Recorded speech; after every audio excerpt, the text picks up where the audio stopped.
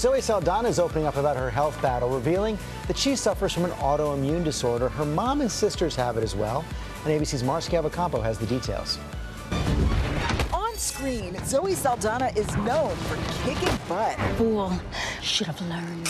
But this morning, the actress is revealing her real life fight with an autoimmune disorder. In an article for Net-a-Porter's weekly digital magazine, The Edit, Saldana shares for the first time that she suffers from Hashimoto's thyroiditis, saying, Your body doesn't have the energy it needs. You create antibodies that attack your glands. When Zoe was diagnosed, she said her body was feeling different, and so she had to make changes in her life to balance all of that out. In the midst of a very full life, Saldana tackling this disorder that turns the immune system against the thyroid, and it's much more common in women than in men. The 38 year old has twin one and a half year old boys with her husband, Italian artist Marco Perego. I wish I can I can say that it's easy. I know that a lot of moms and, and fathers will identify. The best example I can give them is is for them to see their parents like fighting for their dreams. In the article, Saldana adds that her mother and sisters are facing the same disorder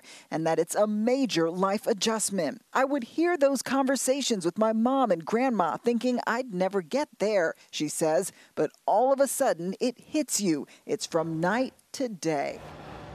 Big life change there. Well, Saldana says her husband has also made changes to his lifestyles to support her, and that even when she's working, they never spend more than a week apart. Now, as for her movie career, her plate is still quite full. She's starred in some of the most successful franchises ever and is currently working on sequels to Avatar. George? Keeps on going. Okay, Mara, thanks very much. Let's talk about this now with Dr. Jen Ashton, our senior medical contributor. So, Jen, what are the symptoms here and, and how's this diagnosed? So, first of all, this is the thyroid gland is our main metabolic gland, endocrine gland in our body, produces hormones that really act as our furnace, regulate everything from our metabolism.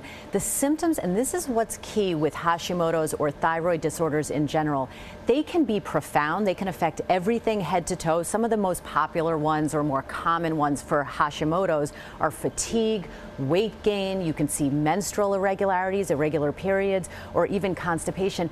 Obviously, a lot of people can have those symptoms and not have thyroid dysfunction. But the key is if you are experiencing a number of these symptoms for a persistent amount of time, get your doctor to run a blood test, and specifically you have to look for thyroid antibodies. That's how usually we make the diagnosis. So is this all about the genes? Her, her mom has it, her sisters have it? You know, genetics is an important part, and family history is important and often overlooked, but it's not, it's part of the picture. It's not your whole destiny. So the key is if you know something runs in your family, especially when you're talking about autoimmune conditions, this affects upwards estimated 50 million Americans when you talk about autoimmune conditions. If you know it runs in your family, be persistent and speak to doctors. About and how about treating it? Diet, other options? You know, we're hearing a lot about diet. There's no hard data yet to support that it can help, but there is no question that we're in the infancy of looking at nutritional impacts on chronic disorders. The best and most healthiest way to eat is going to help you regardless of what you have, and especially when you're talking about a thyroid condition. Clean eating,